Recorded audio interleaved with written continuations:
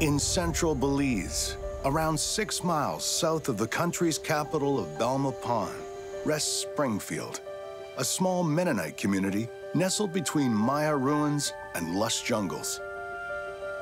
Some Mennonite orders are similar to the Amish in that they're religious communities that live simply and without modern conveniences. In the 1950s, some conservative Mennonites that had been living in Mexico moved to Belize. In 2006, the village's peaceful existence was shattered by an unexpected event. A man fell down a hole into a previously undiscovered subterranean cave, seriously injuring himself. He was unable to get out. Late one night, a man runs into a village screaming. He's looking for help for his injured friend. The villagers quickly form a rescue team and head to the cave where they can see the man screaming in pain some 30 feet down. The group lowers one brave farmer by rope into the pit. He finds the man covered in blood and short a few teeth that had been knocked out in the fall. This man's teeth weren't the only teeth on the floor of this cave. They were surrounded by skulls and other human bones. What is this place? Archaeologists called to investigate the cave are shocked by the volume of the remains. Cataloging their finds, they recover over 10,000 bones and bone fragments. Locals dubbed the cave the Midnacht Schrecknishel, which is Plautdietsch, the Dutch-German dialect spoken by Mennonites. The literal translation of the phrase is Midnight Terror Cave, which seems like a pretty accurate name for it. The cave is about 60 feet below ground and totals about 800 feet long. It comprises eight unique areas, some that are open and wide enough for many people, and other small dark caverns that are difficult to reach. It's incredibly humid, and parts of the cave likely flood with water seasonally. Most of the bones are found in two distinct areas of the cave. Many are disarticulated, separated at the joints, and they've been cemented to the cave floor by the constant drip of seeping water. And there are beautiful pottery shards along portions of the cave floor. Many can be dated back to as early as the 9th century. Perhaps this cave had been a home used for generations, who eventually perished here. We tend to use these naturally formed caves for shelter in extreme circumstances, but we don't tend to see people living in these for extended periods of time. It's basically 100% humidity. An environment like this is not very hospitable.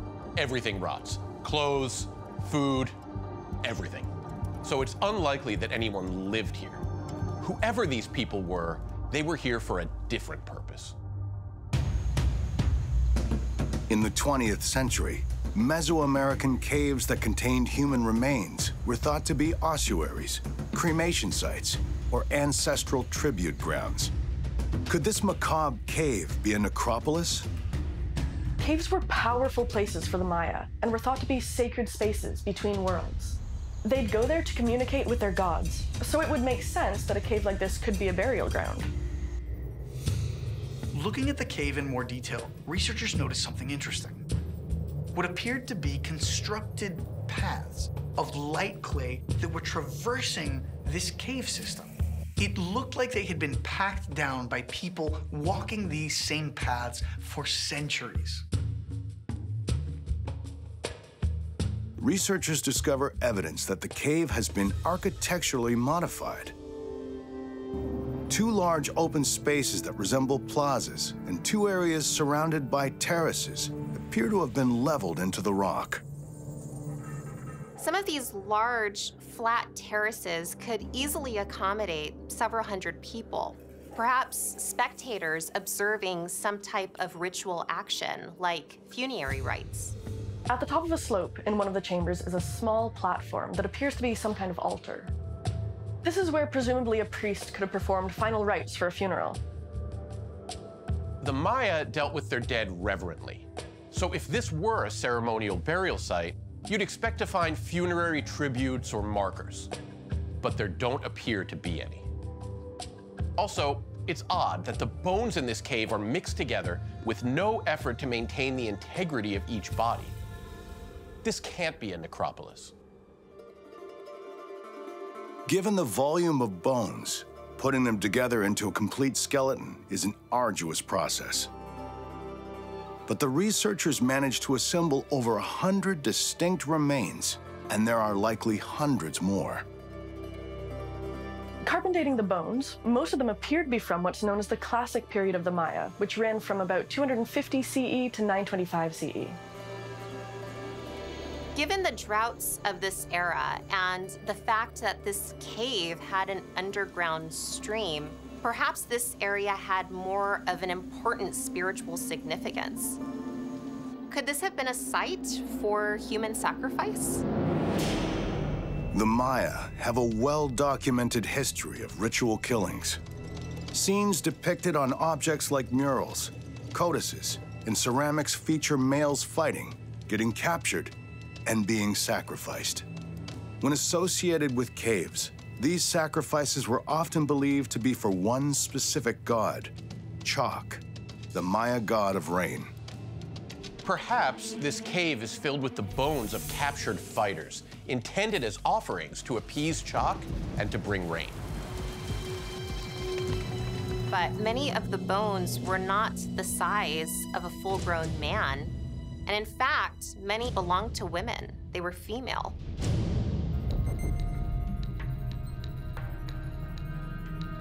At the beginning of the 20th century, the cenote at Chichen Itza in Mexico was dredged and a huge amount of human remains were discovered. They were found to be the bones of both male and female, young and old. At the Midnight Terror Cave, among the remains that are believed to be female, there appear to be two main age clusters, one of middle-aged women and one of younger women. Now, the age distribution really fits this archetype of the female goddess, Think the matron, the virgin. And it's supported by accounts of Maya rituals where a deity impersonator is sacrificed. Perhaps a ritual mythical drama was going on here, with women playing the role of deities and then being sacrificed up to the gods. The gender of many of the remains isn't the only unusual discovery at the cave. An evaluation of the bones and teeth reveals that 43% of them were children. Because the Maya believed in an afterlife, they sometimes viewed being sacrificed as an honor, not a punishment. It's certainly not the first time the remains of children have been found at a Maya sacrificial site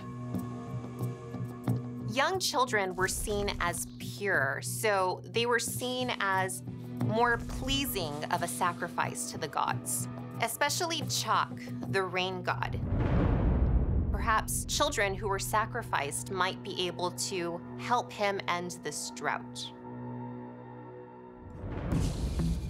Researchers perform radiogenic strontium isotope analysis of the teeth to learn who these children were and where they came from. Tooth enamel, the hardest, most durable part of the human body, is formed when we are young. By evaluating it, researchers can provide a snapshot of nutrients consumed during a person's formative years. Teeth can tell the story of what we ate growing up. And by knowing an individual's diet, we can determine where they were raised. Basically, it's not just that you are what you eat, you're also where you ate it. An analysis of the tooth enamel actually found that about a quarter of the children came from about 200 miles away. Why would these kids be brought from so far away? Now, it's totally possible that this is simply a case of politics. Think about it.